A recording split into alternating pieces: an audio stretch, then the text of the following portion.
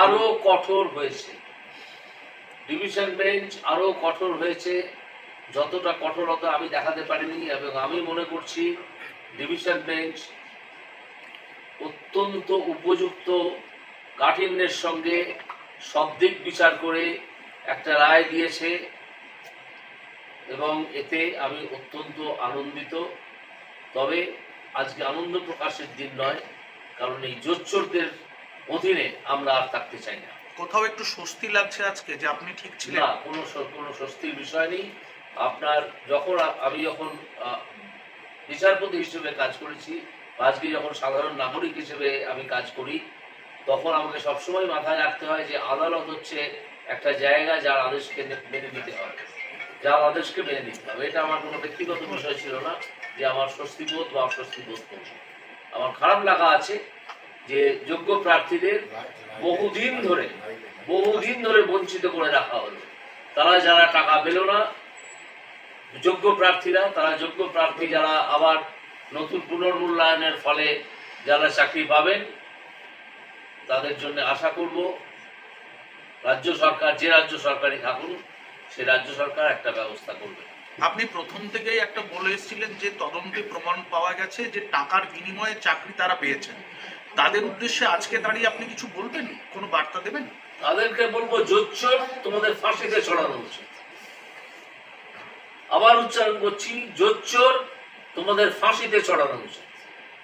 এটাই আমার বার্তা তাদের। আপনাদের আর কারও কিছু বলার আছে? স্যার একটা ইংরেজিতে একটু বলবেন। বলবেন। ইংরেজি। না প্রশ্ন করুন বলছি what is your first reaction about the high court verdict? I have already said it, you translate. Uh, uh, in the processing in 2016, uh, High Court says SSC processing had 17 type of corruption. What will you say? Civil judgment, you will find all the points in the, uh, uh, on the, in the, in the judgment that have been delivered today. I believe when it is the three fifty-four or something like that, is just judgment, you will get every. And the, the, the bench has heard it extensively and all the parties, all, all the parties. Sir একটা প্রশ্ন ছিল। সেটা হচ্ছে যে যারা নিয়োগ হয়েছিল মানে যাদেরকে অতিরিক্ত হিসাবে নিয়োগ করা হয়েছিল তাদের বেতন ছ সপ্তাহের মধ্যে ফেরত দেওয়ার নির্দেশ দিয়েছিল. সেটা দিতেই হবে। দিতেই হবে। তারপর আমি তো বললাম যে যারা যোগ্য প্রার্থী হিসেবে উঠে আসবেন যাদের পুনর্মূল্যায়নের ফলে যাদের যোগ্য প্রার্থী বঙ্গবন্ধু চাকরিও করছিলেন, নিশ্চয়ই রাজ্য সরকার, তখন যে রাজ্য সরকার থাকবেন, আমি আশা করছি নির্লজ্জ সরকার আজকেই পদত্যাগ করবে। আশা করতে পারি, আর কি করতে পারি? আমার ক্ষমতা থাকলে আমি তাদেরকে কান ধরে টেনে নামিয়ে দিতাম এই ক্ষমতা থেকে। সে ক্ষমতা আমার নেই। মানুষের আছে, জনগণের আছে। ভোট এসছে, ভোট এসে গেছে। আপনারা দেখতেই পাবেন ভোটে কি হয়। এর তো শুধু প্রসারী প্রভাব পড়বে। দুটো দুটো যে আমাদের সম্প্রদায়, মূল সম্প্রদায় আছে হিন্দু এবং মুসলিম, বহু মুসলিম ছাত্রের চাকরি উনি হতে দেন, বহু। তারা আজকে রাস্তায় কেঁদে কেঁদে বেড়ায়। কেন এটা হবে? চাকরি ওনার চাকরি ওনার ব্যক্তিগত সম্পত্তি। চাকরির টাকা কোথা থেকে আসে? চাকরির টাকা জেনে রাখুন, পশ্চিমবঙ্গ সরকারের থেকেও আসে না। চাকরির যে মাইনের টাকা আসে এটা সেন্ট্রাল গভর্নমেন্টের স্কিম থেকে আসে। সেই টাকা বঞ্চনা করে, প্রবঞ্চনা করে আপনারা একদল লোককে চাকরি বিক্রি করে দিয়ে চাই তাদেরকে চাকরি করাচ্ছিলেন। লজ্জারও শেষ নেই আমাদের। এই ধরনের একটা প্রবঞ্চক প্রবঞ্চক একটা মন্ত্রিসভার আন্ডারে আমরা আছি। আজকে তো সুপার নিউমারি পোস্ট নিয়ে তদন্তের একটা রাস্তা খোলা রইল। সুপার নিউমারি পোস্ট নিয়ে আমি ডেকে পাঠিয়েছিলাম একে আপনাদের তখন যিনি চিফ সেক্রেটারি ছিলেন। চিফ না প্রিন্সিপাল সেক্রেটারি এডুকেশন ডিপার্টমেন্ট তিনিও একটি চূড়ান্ত ভালো লোক কোট আন কোট আমি যখন রায় দিতে যাচ্ছি, তখন একজন এসে আমাকে জানালেন যে আজকে সকালেই তাদের একজন আইনজীবী সুপ্রিম কোর্টে গিয়ে একটা স্থগিতাদেশ এনেছেন। এক স্থগিতাদেশ এনেছেন। নাহলে সেদিনই তাদের বারোটা বেজে।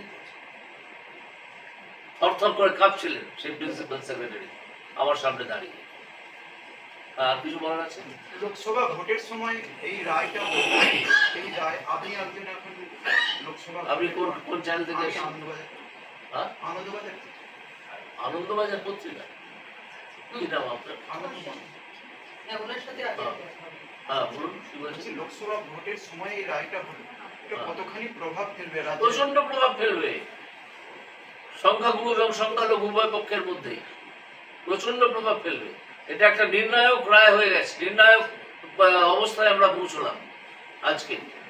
যে কত বড় জোচ্চর সরকারের আন্ডারে আমরা আছি, অধীনে আমরা আছি। সেই জন্যই তো আমি প্রথম কথা বললাম, এই জোচ্চরদের এক- এক্ষুনি পদত্যাগ চাই। এটা করবে না হয়তো, কারণ এদের তো নির্লজ্জ তো চোখের চামড়া নেই। গায়েও মানুষের চামড়া আছে কিনা এটা আমার সন্দেহ আছে। স্যার একটা প্রশ্ন দাঁড়ান এখানে আর কারও কোনো প্রশ্ন আছে কিনা জেনে নিই।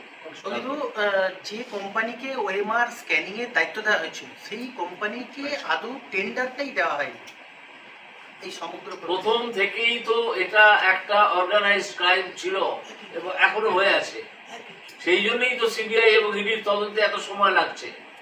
প্রথম থেকেই পরিকল্পনা করে নেওয়া হয়েছিল যে আমরা কত টাকা কামাবো এই চাকরির ব্যবস্থা করে। আমার ঘেন্না করছে যে সুবীরেশ ভট্টাচার্য, যিনি তৎকালীন চেয়ার চেয়ারম্যান ছিলেন স্কুল সার্ভিস কমিশনের তার সঙ্গে আমি, তার সঙ্গে আমি তাদের প্রধান তাদের প্রধান আইন উপদেষ্টা হিসেবে কিছুদিন কাজ করেছি। এসব কিছুই আমি ঘোরাক করে কোনোদিন জানতে পারিনি। যদি আমি জানতে পারতাম, সেই দিনই আমি তাদের বিরুদ্ধে ব্যবস্থা নিতাম।